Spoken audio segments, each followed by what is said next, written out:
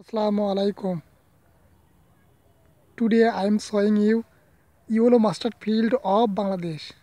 Looks, this is amazing.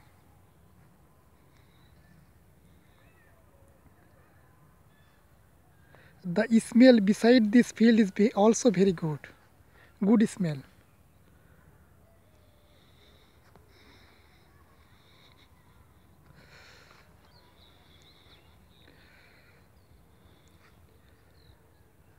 I think everybody will like this video and the good scenery.